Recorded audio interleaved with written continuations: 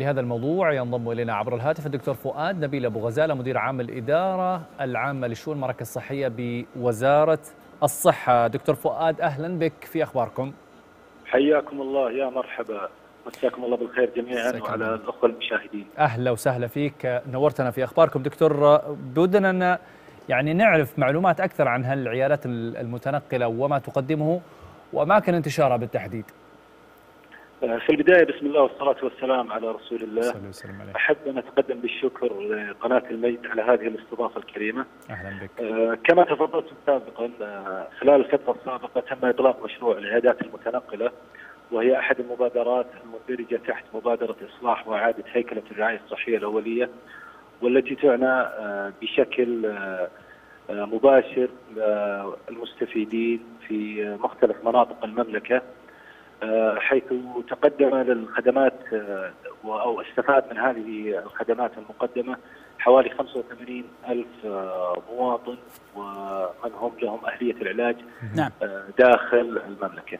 في ك في في ك في كم منطقة أو خلينا نتكلم عن المناطق الرئيسية ولا المحافظات أو الهجر؟ صحيح. آه، ال- ال- العيادات المتنقلة آه، بالمقام الأول تستهدف التجمعات الطرفية. مم. والتي لا يوجد بها خدمات صحية آه، بتلك التجمعات. يعني نتكلم أنها بديلة للمراكز الصحية.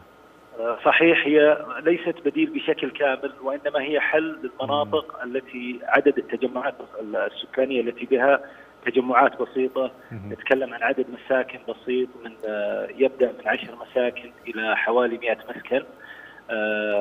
تلك المناطق آه، لا يوجد حوالينها يعني بنطاق آه، مسافة وزمن معين حوالي 30 كيلومتر نقطة صحية نعم. يتم استهدافها بالعيادات المتنقلة تقريبا تم تغطية آه، حوالي 100 تجمع سكاني طرفي. بمختلف مناطق المملكة بعدد عشر عيادات متنقلة كمرحلة أولى وبإذن الله القادم سيكون هنالك مرحلة ثانية للمشروع نعم. سيتم آه، إطلاقها إن شاء الله بمنتصف عام 2020 نعم دكتور فؤاد إحنا نتحدث يعني عن عيادات متنقلة وهي جاءت ضمن المبادرة وهي إصلاح إعادة هيكله الرعاية الصحية وهذه مبادرة يعني أحد المبادرات اللي أطلقتها وزارة الصحة.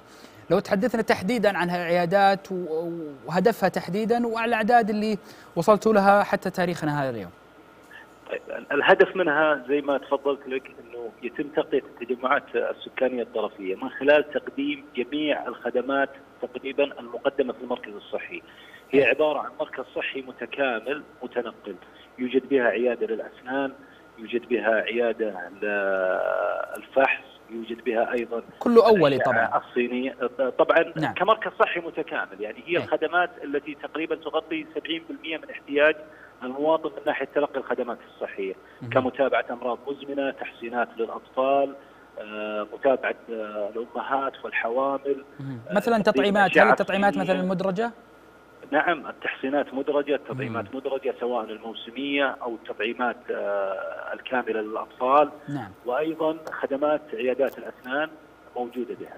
طيب لو يعني احتاج مثلا أحد المواطنين الاستفادة آه، من هذه العيادات المتنقلة، كيف ممكن يجد أماكنها؟ هل مثلا معلنة بأماكن معينة ولا هي تتحرك متنقلة يعني شهريا اسبوعيا؟ كيف طريقتها؟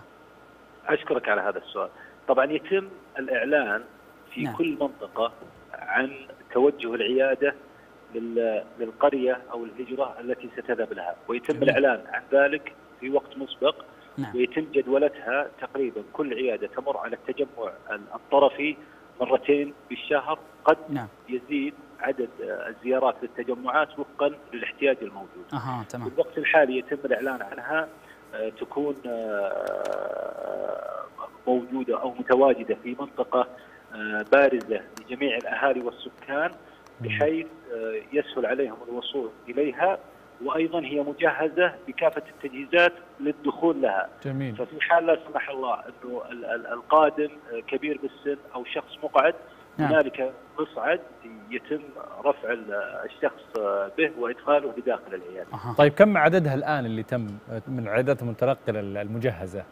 حاليا العيادات المتنقلة التي تم إطلاقها بجميع بمختلف مناطق المملكة بحوالي تسع مناطق آه، داخل المملكة عشر عيادات. جميل. موزعة على تسع مناطق بالمملكة وفقا للتجمعات الطرفية التي يتواجد بها عدد سكان آه، لهم الأولوية كمرحلة أولى لاطلاق الخدمات لهم وبإذن. الله المرحلة القادمة سيتم دعمها بعربات آه، أخرى بنفس الحجم وعربات أخرى أيضا. بالتوجه للمناطق التي يصعب وصول لها العربات الكبيرة. بإذن الله تعالى. التغطية لأماكن أبعد الله. وأكثر وعور. بإذن الله. وإحنا في منصة أخباركم أيضا سنتابع معكم هذا اولا بأول. دكتور فؤاد نبيل أبو غزاله مدير عام الإدارة العامه لشؤون المراكز الصحية بوزارة الصحة. شكرا لك على هذا التوضيح. انتقل مشاهدينا الكرام الآن إلى رصد